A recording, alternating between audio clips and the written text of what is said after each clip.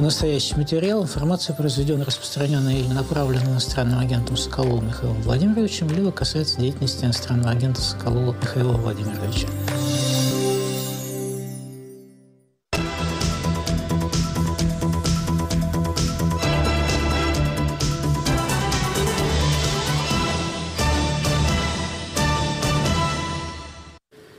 В эфире программа «Радио Свобода. Лицом к событию». Сегодня с нами гости из Соединенных Штатов политолог и публицист Андрей Пьянковский и из Литвы, живущий в Вильнюсе, политик Олег Степанов. Давайте мы посмотрим, собственно, э, как происходили важнейшие события последних дней, что было на первом дне форума НАТО в Вильнюсе и в ходе второго дня. В Вильнюсе 11 июля начался двухдневный саммит НАТО – Самой значительной угрозой безопасности генеральный секретарь НАТО Йенс Столтенберг назвал Россию. Союзники также одобрили самый всеобъемлющий план обороны с момента окончания Холодной войны. Он направлен на противодействие двум основным угрозам, с которыми мы сталкиваемся – России и терроризму. Согласно новым планам, НАТО намерено иметь 300 тысяч военнослужащих в высокой степени готовности, включая значительные военно-воздушные и военно-морские силы. Перед саммитом более 20 членов Альянса поддержали стремление Украины вступить в НАТО. Против немедленного присоединения выступила Германия. США считают, что Украина не готова вступить в НАТО, но Вашингтон может дать ей гарантии безопасности. Министр иностранных дел Украины Дмитрий Кулеба в интервью украинской службе «Радио Свобода» напомнил, что лучшая гарантия – участие в НАТО. Ми не віддамо членство в НАТО за будь-які обіцянки. Мы не отдадим членство в НАТО за любые обещания, потому что все понимают, и партнеры тоже, что самая сильная, самая мощная гарантия того, что в Европе не будет больше войны, это членство Украины в Альянсе. Все остальные гарантии безопасности — это хорошо, но ничто не заменит членство в НАТО. Але ніщо не замінить членство в НАТО. Страны НАТО пока не пригласили Украину в альянс, но согласились сократить процедуру вступления для нее до одного этапа, сообщил Йенс Столтенберг. Uh, we reaffirmed that Ukraine will become a member of NATO. Мы подтвердили, что Украина станет членом НАТО и согласились отменить требования о предоставлении плана действий по членству. Это изменит путь вступления Украины в НАТО с двухэтапного на одноэтапный. Мы также дали понять, что направим Украине приглашение вступить в НАТО, когда союзники согласятся и будут выполнены все условия. До начала переговоров президент Украины Владимир Зеленский покритиковал коммюнике саммита. Беспрецедентно и абсурдно, когда нет никаких временных рамок и для приглашения, и для членства Украины, и когда вместо этого добавляется какая-то странная формулировка об условиях даже для приглашения Украины. Зеленский предположил, что неготовность союзников пригласить Украину в НАТО оставляет возможность для торга с Россией. 12 июля начал работу новый Совет Украина-НАТО, который станет площадкой для консультаций в кризисных ситуациях. Uh, совет будет возглавляться мной, генеральным секретарем НАТО, и я могу созывать Совет таким образом, что отдельные союзники или члены Совета не смогут заблокировать это решение. Он также может быть созван отдельными государствами-членами для проведения кризисных консультаций, так что если президент Зеленский захочет созвать заседание Совета НАТО-Украина, он может это сделать. Украинский президент так обозначил главные темы переговоров в Вильнюсе. Первое – это комплекты вооружений, новые комплекты вооружений для поддержки нашей армии на поле боя. И это первое. Вторая, я думаю, приглашение в НАТО. Сегодня мы слышим, что мы получим это приглашение, когда позволят меры безопасности. Да. Поэтому я хочу обсудить с нашими партнерами все эти вещи. И третье. Мы сегодня будем говорить и бороться за это. Это гарантии безопасности для Украины на пути в НАТО.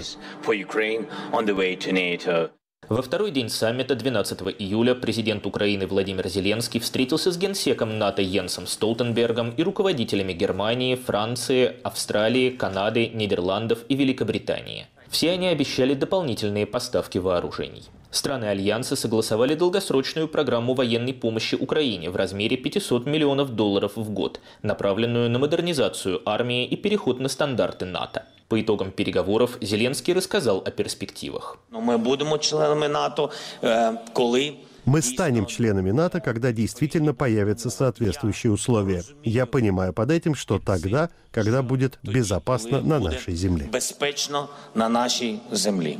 А вот у Швеции шансы на вступление в НАТО выросли. Турция разблокировала заявку Стокгольма после того, как шведская сторона пообещала поддержать вступление Турции в Евросоюз и не оказывать поддержку организациям, которые Анкара считает террористическими.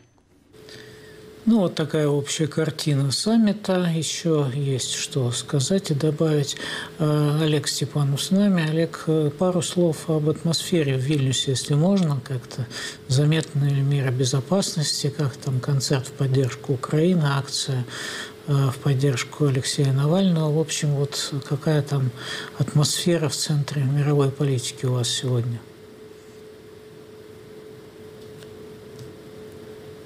Так. Микрофон включите.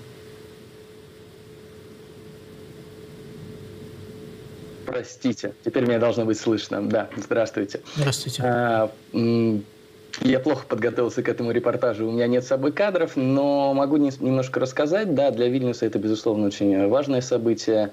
А, в городе ну, приняты большие меры безопасности. Литва даже в целом, как страна, восстановила внутренние границы со странами ЕС. В Вильнюсе перекрыто несколько районов, достаточно много полиции. Но не сказать, чтобы это была какая-то гнетущая атмосфера. Скорее, те, кто мог поехать на природу в эти дни, например, кому работодатели позволили, те выехали куда-то отдохнуть.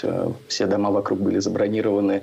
Об этом пишут в местных новостях. Если говорить про политическую сторону, чуть-чуть отвлечься от этих веселых бесед, то, наверное, два главных таких события, которые вызвали э, какое-то активное да, участие людей на улицах, это, конечно, концерт, э, митинг, митинг в поддержку Украины, куда пришел и Зеленский, и президент Литвы Науседа. И это, конечно, выступление Байдена открытое, которое вот сегодня в 16.30 началось. Очень хотел туда попасть, к сожалению, не смог, потому что там выстроилась еще за несколько часов до многокилометровая очередь. А в целом, а, если говорить о том, что происходит в Вильнюсе, ну, например, ближе к российской повестке, если мы говорим про а, арт-объект, если его так можно назвать, ШИЗО, да, то есть модель ШИЗО, в котором сидит Алексей Навальный, который путешествует по разным городам. А, сейчас э, этот объект находится в Вильнюсе. Ну, наверное, как и в ряде других городов до этого были небольшие провокации. Во-первых, его кто-то попытался поджечь. А во-вторых, э, ну, здесь есть такая группа россиян, часть из них раньше придерживались, скажем так, э, взглядов э, там, из серии «Крым наш» и так далее. Сейчас вот они бегают, пристают к волонтерам, которые рассказывают о том, что происходит с Алексеем Навальным. Вот. Ну, не то чтобы это какие-то самые главные события. В целом люди реагируют позитивно, спрашивают, интересуются, активно жертвуют э, деньги на вот, деятельность ФБК. А, ну, вот, наверное, примерно так я могу ответить на ваш вопрос. Да, Олег, спасибо. Ну, давайте мы теперь пойдем по сути э, случившихся, происшедших событий. Андрей Андреевич Пьянковский тоже с нами. Здравствуйте, Андрей Андреевич. Ну вот э, я бы обратил внимание на первое заявление Владимира Зеленского, который назвал слабостью отсутствие готовности НАТО пригласить Украину в альянс или сделать ее членом НАТО.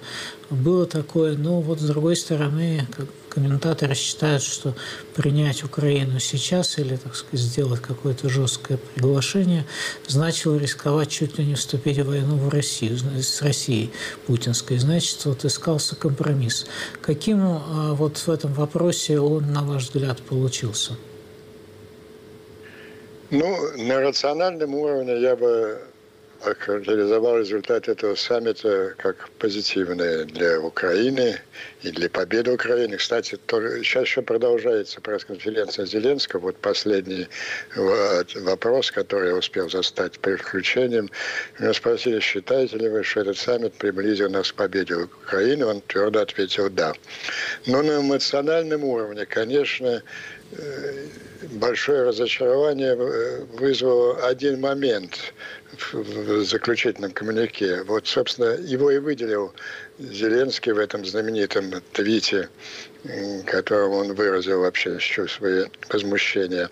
Ну, есть, это цитата из, э, из э, заключительного коммунике НАТО. Там говорится, что Украина будет принята будет принято, когда все страны согласны, но это банальность, конечно, требуется единогласное принятие, а затем такая, такие слова «unconditioned summit». То есть вот повторяется старая лживая песня о том, что Украина еще не выполняет каких-то высочайших критерий, которые должны отвечать члены этого великого клуба, и поэтому ей еще надо поработать достаточно над домашним заданием. Собственно, этой фенечкой Запад прикрывался 15 э, лет, начиная э, с восьмого года, когда Украине было отказано в ПДЧ, но отказано было по очень простой причине.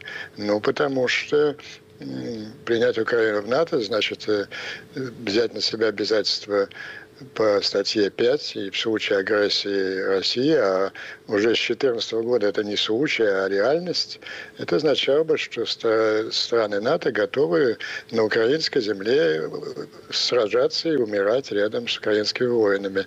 На это, конечно, никто не был готов. Кстати, в Украине это прекрасно понимают и этого не ждали. Но так-то они не могли сказать, что вот мы боимся русских, и поэтому мы Украине не даем э, этот статус члена НАТО.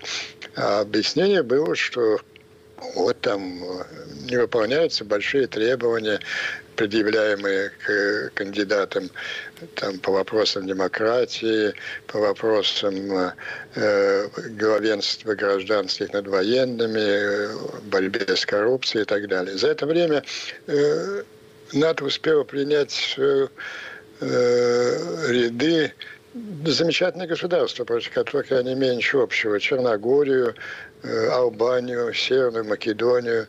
Но там никаких вопросов не возникало что у Украины в этой сфере демократии, транспарентности более катастрофической ситуации? Нет, конечно. Просто э, до Черногории, Северной Македонии, Албании ни при каком раскладе российские войска не могли найти, дойти. Вот это лицемерие, оно чрезвычайно раздражало все время. И казалось бы, казалось бы, они, сейчас Запад от этого избавился. Вот Столтенберг, он был в Киеве несколько раз перед саммитом, он говорил очень откровенно, что мы не можем сейчас принять Украину в НАТО, потому что это означало бы, что мы должны посылать войска и сражаться и умирать. Ну, к этому, видимо, не только политики, но и избиратели не были готовы. И эта позиция понималась Украиной. И Столтенберг э, такую формулировку предложил.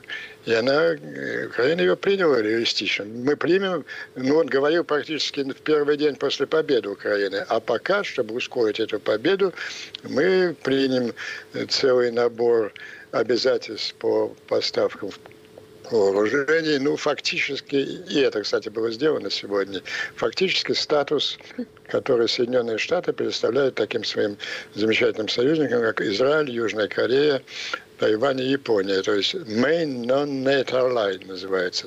Главный союзник Соединенных Штатов, не член НАТО. Не член НАТО в том же самом смысле, что американцы не берут на себя обязательства умирать рядом с израильтянами, сражаясь за них, или с японцами, южными корейцами, а их, собственно, об этом не просят. И, собственно, украинцы не надеются, не приглашают к себе американские войска, но они надеются, что Запад, понимая, что Украина защищает не только себя, а прежде всего весь свободный мир, э, восполнит эти пробелы поставками оружия. Вот. И, в общем-то, если так и продолжалось, не было бы этого вот напряжения такого эмоционального, которое два дня продолжалось. Но вот в последние дни перед саммитом некоторые советники дедушки Байдена ему подсовывали вот шпаргалки. Я даже прекрасно понимаю, вы понимаете, какие же советники. И он вдруг поднял этот, казалось бы, забытый вопрос о том, что Украина не, не, не, не is not ready, is not ready, потому что она удовлетворяет каким-то там охранительным conditions по вопросам демократии, транспарентности и рыночной экономики. И это пролезло даже в коммюнике НАТО. Это вызвало, конечно, очень большое раздражение.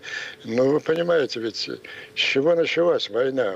Путин же объявил войну не Украине, а объявил войну в Западу, НАТО.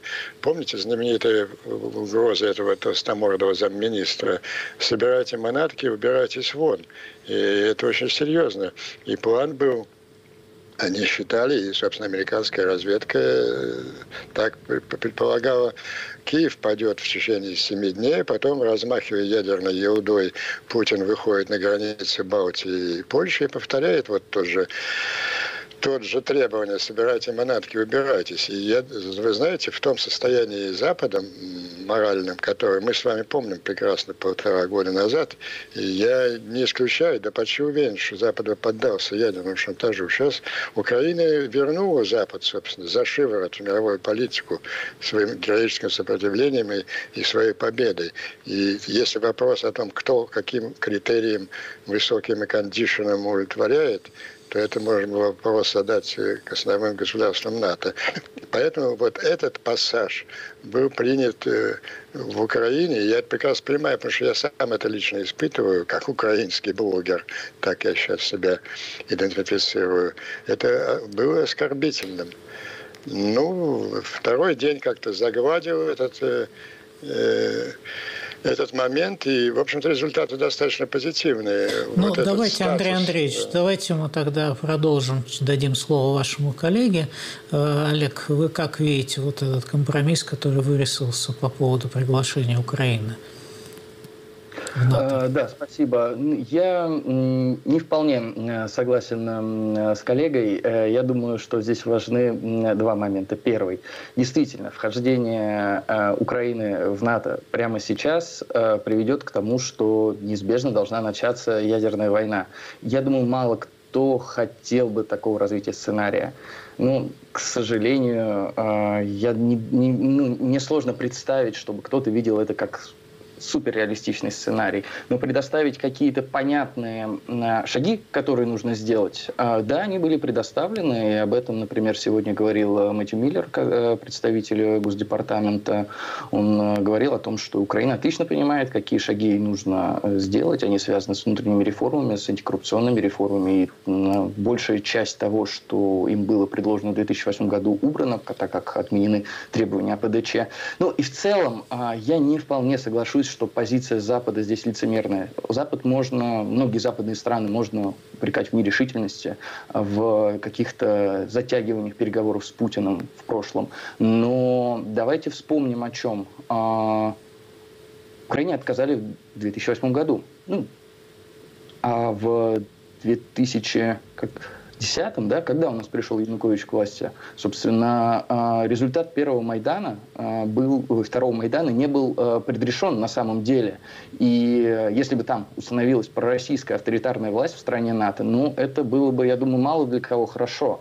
И, на мой личный взгляд, те опасения, которые ну, о которых говорят страны НАТО, они имеют основания, это вряд ли лицемерие. Но так или иначе мы видим, что страны Запада готовы помогать и помогают, и эта поддержка усиливается. И, на мой взгляд, хорошо, если это все придет на данный момент к тому формату, в который есть э, с Израилем, например, и с теми странами, о которых вы также упомянули. А, на мой взгляд, э, в целом вхождение Украины в НАТО – это ситуация, которая выгодна не только Украине, но и России. Потому что с теми странами, э, которые входят в НАТО, Россия не воюет, и там не погибают и граждане России в этих бессмысленных войнах. И это, конечно, было бы очень хорошим шагом и для России, для Украины, и, в принципе, для всего мира. Но мне кажется, это так или иначе вопрос времени, и мы видим, что и США, и другие страны достаточно решительно настроены по этому поводу, и они это подтверждают не только словом, но и делом, а, поставками вооружений, финансовой и иной помощью. А, в целом, мне кажется, что саммит, э, ну, как сам сказал Зеленский, э, да, там, может быть, недословно, что он удовлетворен итогами. Ну, конечно, было бы совсем замечательно, совсем идеально, если бы приняли Украину в НАТО прямо сейчас, но это, в общем, это я уже добавляю от себя, действительно малореалистичный сценарий вот в силу тех обязательств, которых, э, которые есть у одних стран НАТО перед другими. И я думаю, здесь еще есть важный момент. В контексте того, о чем говорит российская пропаганда, да, которая постоянно говорит, что вхождение Украины в НАТО – это угроза России, государственности и прочее. Но страны НАТО никогда не воевали с Россией. Единственный случай, наверное, военного конфликта, вот из того, что я могу сейчас вспомнить, это когда э, турки сбили российского летчика. Но, как мы видим и по тем событиям, и по событиям Пригожинского бунта, Россия за своих летчиков не очень переживает. Сбивать, убивать их там можно достаточно, видимо, ну, с точки зрения Владимира Путина, достаточно спокойно. Так что я в целом считаю, что итоги саммита хорошие, и э, я думаю, что путь Украины в НАТО, ну, он понятный и очевидный и неизбежный. Ну что ж, Андрей Андреевич, поступили некоторые возражения на вашу э, позицию. Э, во-первых, может быть, вы что-то добавите. Вот. И во-вторых, э, ну вот мы видим действительно дальнейшие шаги по этому пути. Там согласовали программу поддержки для Украины, создан вот этот совет НАТО, Украина, возможно, это тоже важная, так сказать, э, деталь. Ну и вот отмена плана действий по членству, видимо, тоже упрощает для э, Киева движение в сторону НАТО, ну, видимо, в тот, в тот период уже, когда э, боевые действия закончатся. А вот интересно, если бы не существовало России, угрожающей, развернувшей агрессию против э, Украины, сегодняшний уровень демократии, там, борьбы с коррупцией и прочих замечательных вещей тоже помешал бы Украине принять в НАТО. Чушь это собачья. Понимаете? Основная причина, она совершенно простая. И, собственно, ее не надо стесняться. Они боятся воевать с Россией. И, естественно, ну и так они начали говорить.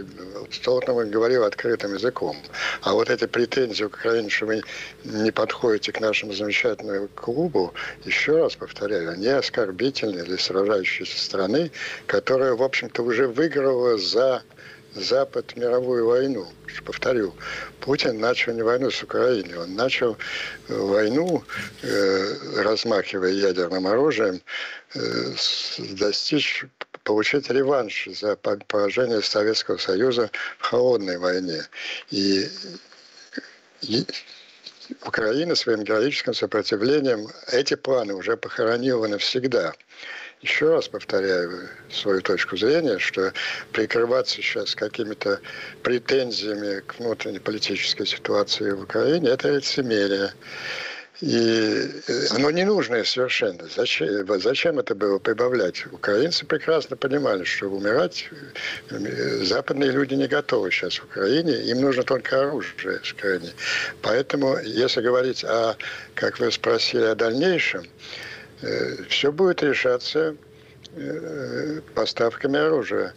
Вот, кстати, сегодня на той же пресс-конференции, я, от которой вы меня отвлекли, был задан вопрос очень существенный э, Зеленскому. А сегодня вчера президент Макрон объявил о поставках дальнобойных ракет. А вот вы ожидаете, американцы готовы поставить ракеты это? Это вопрос очень давно стоит в повестке дня.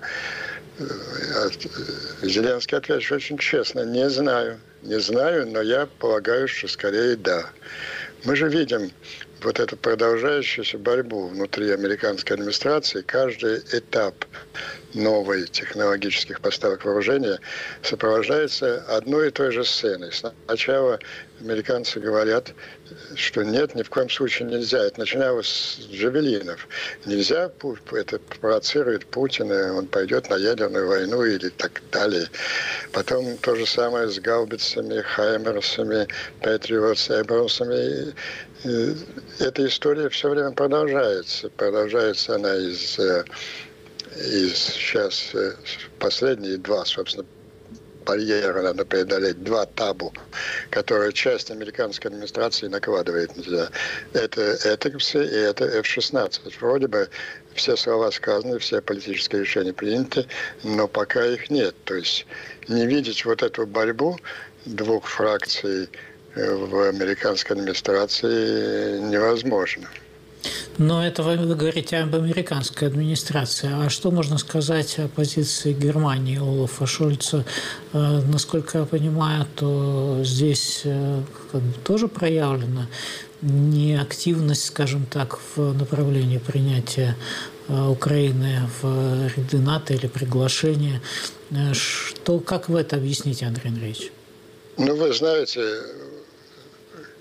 Шольц и немецкий политический клад в целом совершил такой громадный поворот в сторону Украины за, послед... за год этой войны. Но решающий момент мы помним. Это знаменитая речь Шенмайера, вернувшегося после визита президента Германии, вернувшегося после визита в Украину, где, кстати, ему перевело, довелось провести несколько часов бомбоубежище по воздушной атаке российской. Он тогда заявил, что Э, я был основным драйвером вот этой политики Путин-Ферштейн, и я ошибался. Я думаю, этой политикой предотвратить войну на самом случае я приблизил.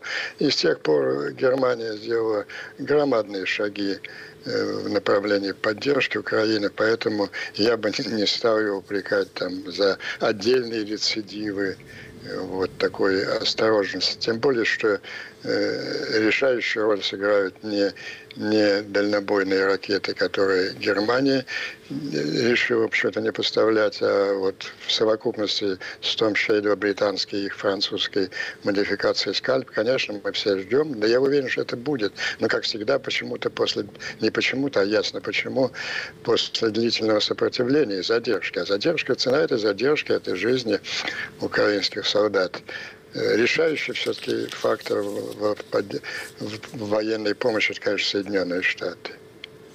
Ну, в данном случае, вот вы говорили о F-16, как я понял, американские политики говорят о том, что здесь есть запасы этих самолетов в Европе, и, насколько я понимаю, именно в Вильнюсе было опять же сказано о том, что 11 стран будут обучать Э, полетом на этих самолетах украинских летчиков, значит, э, вопрос тоже решен. Вопрос в том, что, э, ну вот вы, Андрей Андреевич, ставите проблему, что дело именно в этих самолетах, может быть, дело не только в них. То есть сами по себе самолеты не, не решающий фактор этой войны. Есть и такое мнение. Ну как, вы читали Э,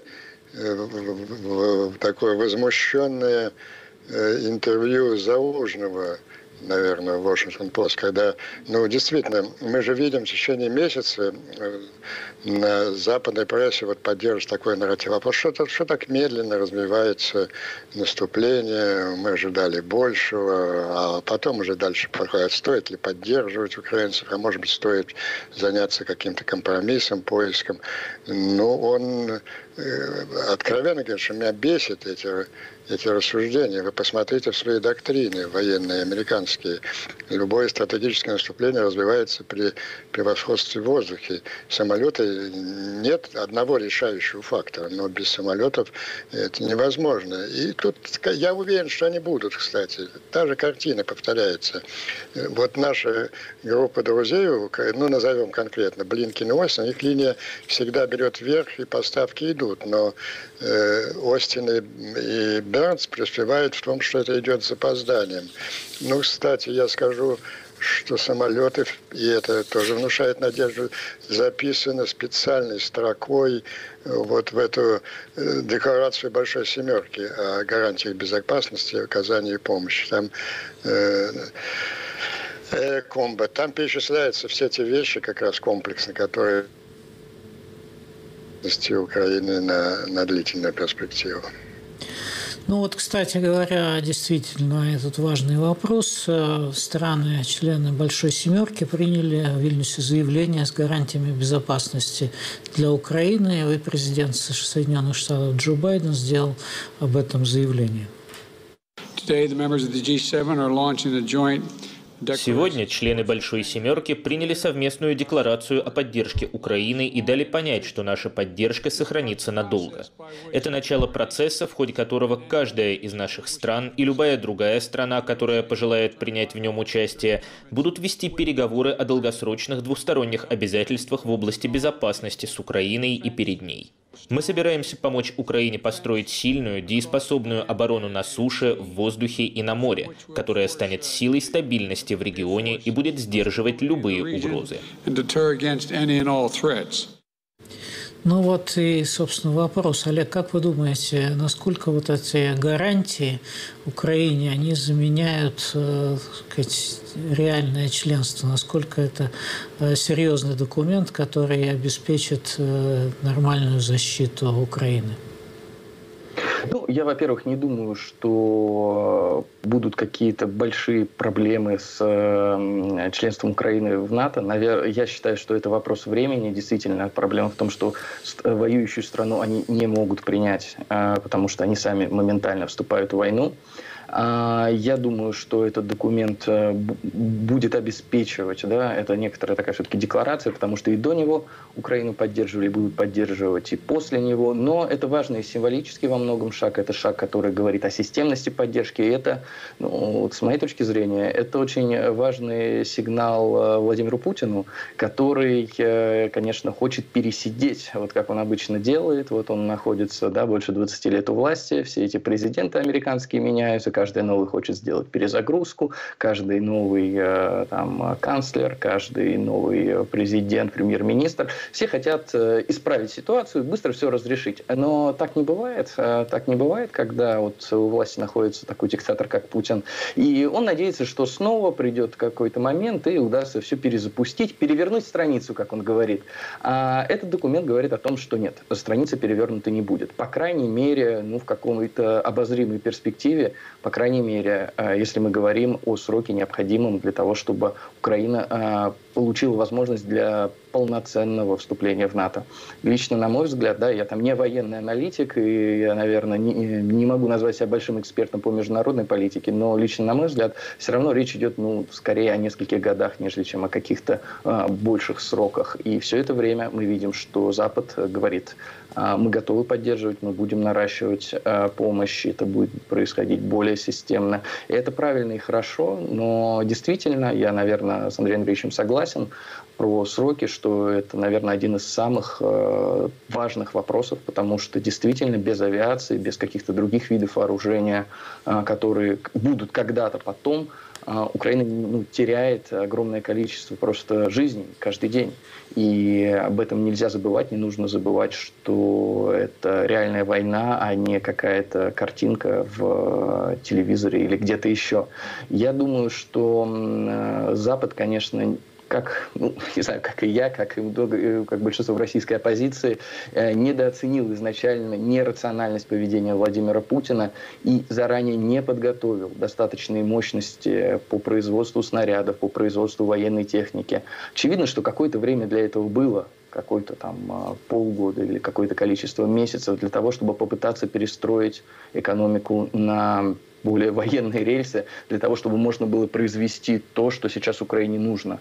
Во многом задержка, по крайней мере ранее, с э, передачей техники или боеприпасов э, была связана с тем, что не все они успевали э, производить, и любой там, министр обороны или какой-нибудь советник по национальной безопасности, когда ему говорят, давайте передадим Украине, это говорит, так мы сами голые останемся, мы не можем этого сделать.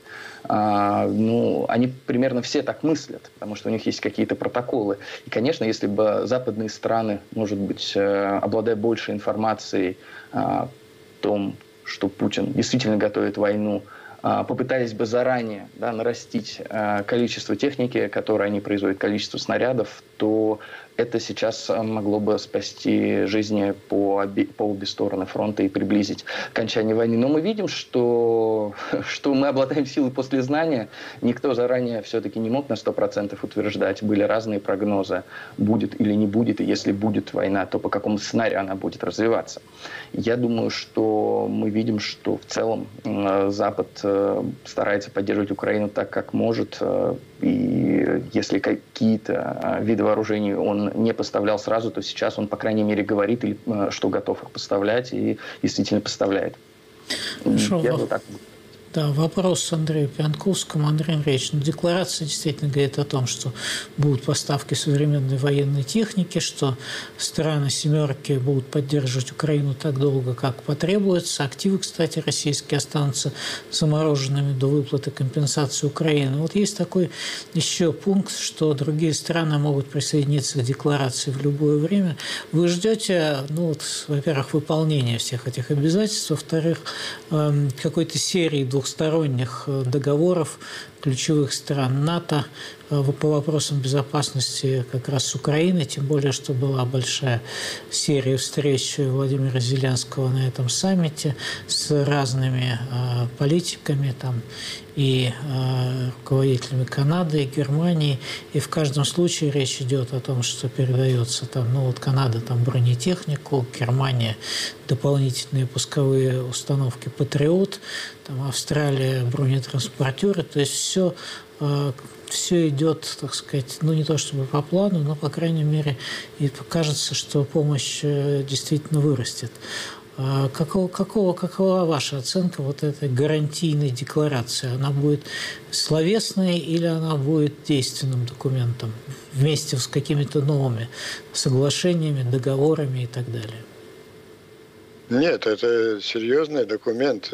Ну, речь идет о в интересах западных стран они прекрасно понимают вот тот фактор, о котором я говорил в самом начале, что Украина защищает, они не часто это повторяют, но они это знают, что Украина защищает, собственно, их весь свободный мир от нашествия с Востока. Собственно, для этого была создана э, организация НАТО 70 лет назад, чтобы защитить от тогда коммунистического похода.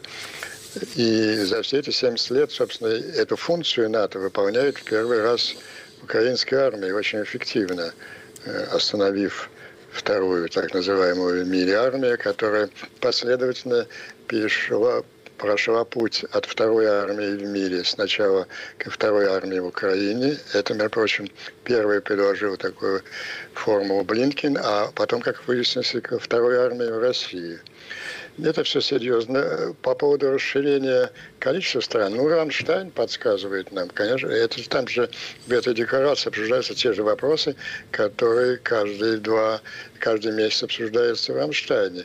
Просто теперь Украина не должна сдать каждый месяц с замиранием этой встречи в Рамштайне, что же нам дадут или не дадут. В этот раз э, эта декларация делает этот процесс таком глобальным, ну, это полная уже, мы оба говорили о том, что это полная аналогия, вот, non, may non light, отношения Соединенных Штатов с Израилем. Что касается развития это двустороннее, ну так первый абзац этой декларации прямо подталкивает союзников в этом направлении. Начинается, что мы будем э, проводить постоянно э, и на двух эти консультации, на двухсторонней, и на многосторонней э, основе. Это все понимают в Украине. Вот мы видим, что, в общем, у нас с коллегой практически одинаковая оценка оценка саммита. Но просто я человек, который несколько часов каждый день провожу в украинской инфосреде и чувствую настроение. Я вот чувствую ту оскорбленность, которая вот эти два дня Э, э, украинцами воспринималось, и нашего отражения в резких заявлениях Зеленского, вот это предъявлением каких-то, как первоклассникам каких-то условий, которые они не выполняют. Правильным шагом в этом направлении была отмена от этого, от этого МЭП. Кстати, Первым об этом сказал Кулеба несколько лет, месяц, дней назад, и Украине удалось, удалось в этом убедить союзников. Еще раз скажу, вот, к сожалению, вот этой такой психологической ошибкой, не учитывающей состояние сражающегося под огнем врага союзника, были вот эти рассуждения и форма when conditions are. А как у вас вот ощущение? Было предложение Э, что, может быть, появятся постоянные базы НАТО в Восточной Европе, для чего надо денонсировать договор, или как это называется, основополагающий акт России и НАТО. Вот это, как вы думаете, будет сделано? Насколько я понимаю, в документ пока это не попало. Ну, по-моему, он де-факто уже он не существует. Я помню договор, я принимал участие еще в разработке его тогда. Это было таким э, достижением Э, Козыревского министерства иностранных дел. Ну, сейчас э, формально он, может быть, и не нарушен, потому что эти на, на основе ротации там располагаются западные вооруженные силы, но уже сейчас такие цифры, что в его рамках э, трудно держаться. Ну, я не знаю, он мертвый там. Кто-то должен заявить, что не существует, или российская, или, или э, запад, натовская сторона. Это несущественно. Существенно то, что впервые э, НАТО разработало конкретные планы отражения агрессии России. Не в, не в, не в терминах там направить туда, усилить восточный фланг там на столько-то тысяч солдат, а в плане сценариев, конкретных рабочих сценариев нападения России и его отражения. И вот массивные э, военно-воздушные маневры две недели назад как раз были первым таким примером. Ну, конечно, в Украине все люди нормальные подумали, что хорошо, если бы эти 800 самолетов э, были бы не в воздушном пространстве Германии, Польши, а оказались бы несколько восточнее воздушном пространстве России. Ну, это тоже сейчас уже твердо обещано. Это будет вопрос во времени. Но как мы все согласились, что это время имеет свою очень тяжелую цену. Но еще один пункт – это члены НАТО увеличат военные расходы на 8,3% уже в этом году. На ваш взгляд, это достаточный рост, который э, позволит противостоять э, путинским угрозам, покажет, что и НАТО, так сказать, готово ответить на э, новые угрозы и готова оказывать Украине военную помощь в долгосрочной перспективе?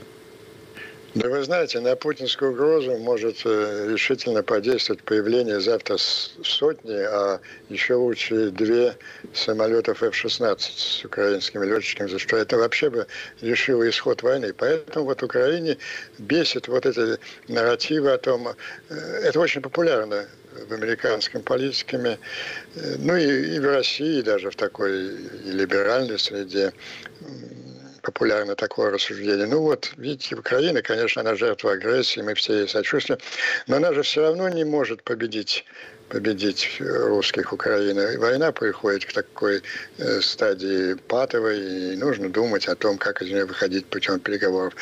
Ну, когда об этом говорят американцы, ну, это очень странно. А, а, как, как, будто они говорят какой-то абстрактной вещи. Это патовая или не патовая ситуация зависит от простых решений Соединенных Штатов. От той же, та же сотни самолетов F-16 резко, резко изменит ситуацию. То есть все это управляемо. Управляемо Западом. Ну и вот ближайший месяц это как раз будет внутри Соединенных Штатов, это как закончится этот процесс э, э, конфликта между двумя проукраинской, я бы так сказал, даже пропутинской группировки внутри байденской администрации. Олег, а вы что думаете вот все-таки об уровне финансовой помощи и военных расходов? Ну, в конце концов, бюджеты западные не резиновые, и фактически в каждой из европейских, например, стран тоже есть группы или политические партии, которые выступают более с изоляционистских позиций. Э, в данном случае не может как-то сказаться на общей атмосфере? Или это отдельные какие-то сказать, силы, ну, группы, которые могут э, привлекать внимание к этой проблеме, но повлиять серьезно на сложившуюся обстановку уже не могут? Это хороший вопрос, и я думаю, что если мы говорим про среднесрочную перспективу, то, конечно же, ни на что это повлиять не может. Но внутренняя политика во многих странах ну, развивается по не самым стандартным сценариям. Мы видим, что, например, в Германии популярность большую набирает партия АФД, а, становится одной из самых популярных партий. Она, конечно же, настроена, скажем так, во многом, ну, если не про путинский, то, по крайней мере, а, близко к тому. Мы видим, что и в США самым популярным а, кандидатом в президенты от республиканской партии, например, является Трамп, если мы говорим про э, про настроение тех, кто будет участвовать в праймерис. И, конечно, его позиция будет сильно отличаться от позиции Байдена, да, если, если там результаты выборов э, сложатся так, что победит э, Трамп, хотя я лично считаю это маловероятным. Я думаю, что загадывать здесь э, достаточно сложно, и я думаю, что мы можем говорить э, только, наверное, о трех значимых факторах. Первое – это это отсутствие каких-то значимых побед у российских войск, так или иначе. А второе – демонстрация Украиной того, что тоже и военных успехов, и успешности в отражении каких-то российских атак. И я думаю, что вот эти вот два главных фактора, влияющие на настроение и элиты, и, может быть, э, принципе, населения западных стран. Ну и третий фактор, да, вот это непредсказуемая часто внутренняя политика, которая, ну, чем дольше а, идет война, тем а, выше шанс, что в какой-то стране, которая принимает а, важные решения, к власти может прийти какое-нибудь правительство, которое, ну, настроено на то, чтобы перевернуть страницу. Андрей Андреевич, что вы скажете о перспективах трампийского изоляционизма, вот этой действительно странной линии бывшего президента и возможного кандидата? Ну, если лично о Трампе, я согласен с Олегом. Просто сейчас вы же заметили позицию истеблишмента республиканской партии. Они выбрали избирательную стратегию совершенно противоположную Трампу. Они атакуют Байдена за недостаточную поддержку Украины. Это делает и новый спикер палаты Маккарти, и председатель комитета по иностранным делам Маккул.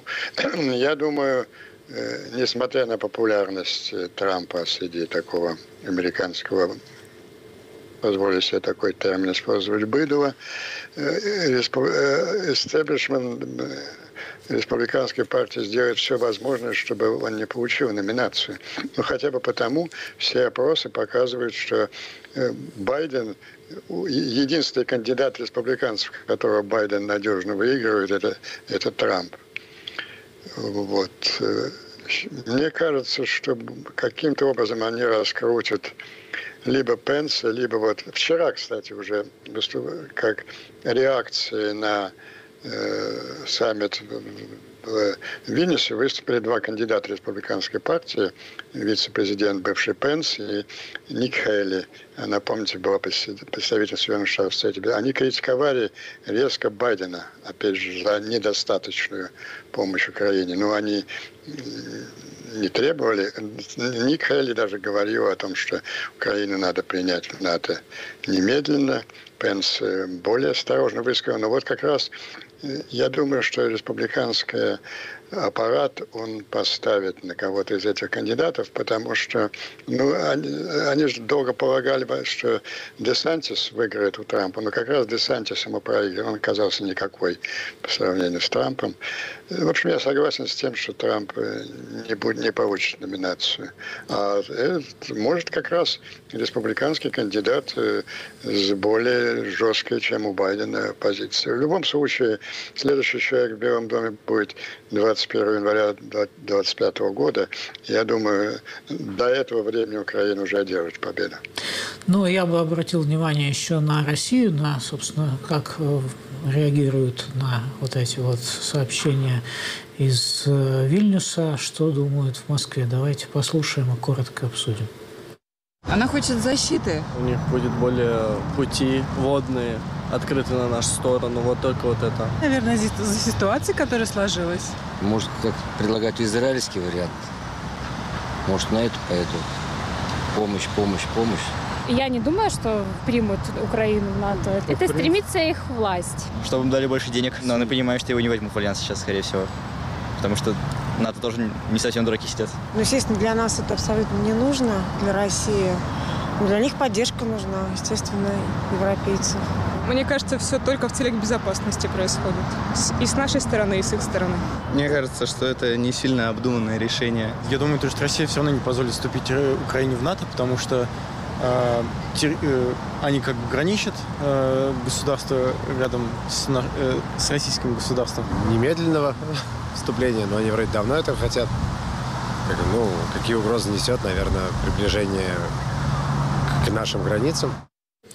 Ну, вот такие разные мнения в Москве у граждан.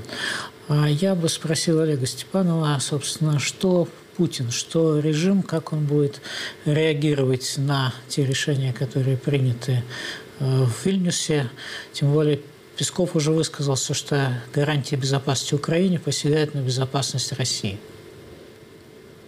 Э, я не думаю, что слова Пескова имеют какой-то большой смысл, если честно, потому что ранее э, да, Путин, э, Путин требовал да, не вхождения Украины в НАТО, чтобы он на нее не напал. В итоге он напал, ну и логично, что у него нету каких-то других дополнительных козырей. Ну что, он может угрожать, он может быть недоволен, он может совершить какую-то очередную подлость.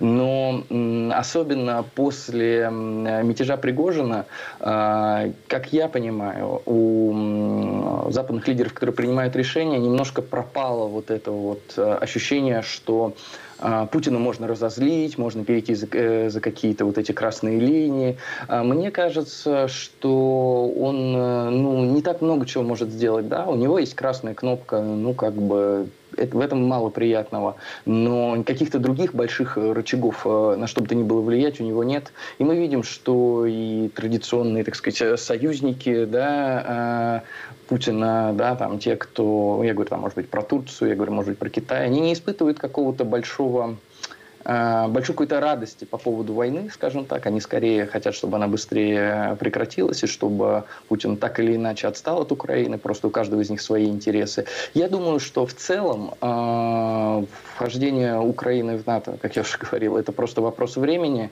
И э, да, мне очень жалко, что, например, Россия, которая даже в начале Путина еще сама шла в НАТО, вряд ли в каком-то обозримом будущем сможет войти в этот альянс. Но в любом случае а, вхождение Украины в НАТО – это безопасность и для России тоже.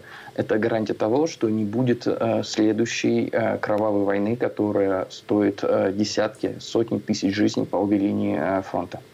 Хорошо, вопрос Андрею Пьянковскому. Андрей Андреевич, как вы прогнозируете реакцию Москвы, Кремля на сегодняшние события? Что ждать от системы Путина, которая говорят, что она, может быть, ослабла после путча, а может быть, и не ослабла? Нет, ну, система личной власти Путина, она не, сам, не ослабла. Ведь это любой криминальной структуре, а российская власть – это криминальная структура. Э, на чем зиждется основная власть? Не на каких-то электоральных процедурах, никто же в эти смешные выборы не верит, а как на, на подчинение, на подчинение основных членов вот этой преступной организации.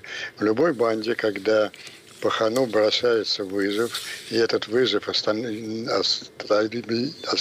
безнаказанным, это означает автоматическое, автоматическое понижение его статуса и его власти. Это путь к потере власти. А есть разные, много можно спорить о разных теориях, кто стоял за Пригожиным, но вывод-то один. Человек, мы помним Путина утром 24-го, когда он в бешенстве кричал и требовал немедленно уничтожить, раздавить и так далее. И что за этим последовало?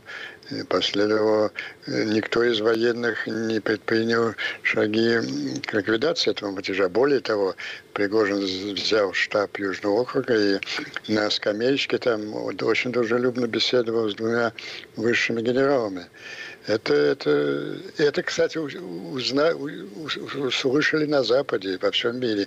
И вот эти пять ятаганов э, Эрдогана в спину Путина неожиданно, это тоже следствие ослабления его позиции. И вот некоторое продвижение, казалось бы, таких уже совсем сложных вопросов, как передача передача кассетных боеголовок, это тоже, тоже меньше меньше э, оглядывания на Путина. Ведь Байден же сказал нам на второй день мятежа, при всей его упреках к нему возможных. Он сказал, Путин is absolutely, absolutely weakened. Я думаю, что он знает об этом лучше, чем мы с вами, потому что американцы рутинно просто прослушивают телефонные разговоры в бункере. А в целом, в ходе войны проигрывает часто в серьезных затяжных войнах э, тот, у которого э, разваливается внутренний фронт. Так вот, этот мятеж показал, что, по крайней мере, э, русская Россия оказалась менее устойчивой структурой, чем Украина в этой войне. Спасибо. Андрей Пьянковский был сегодня с нами, и Олег Степанов тоже. Всего доброго.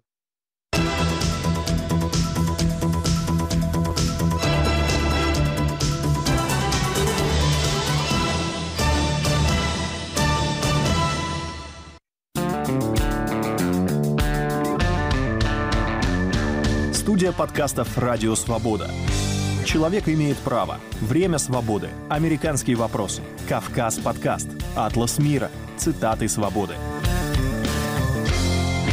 Скучно не будет. Слушай на всех подкаст-платформах.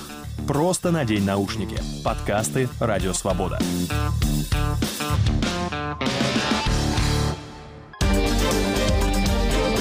Если вы испытываете трудности с доступом к сайтам Радио Свобода, Свобода.орг, Сибриал.орг и Севриал,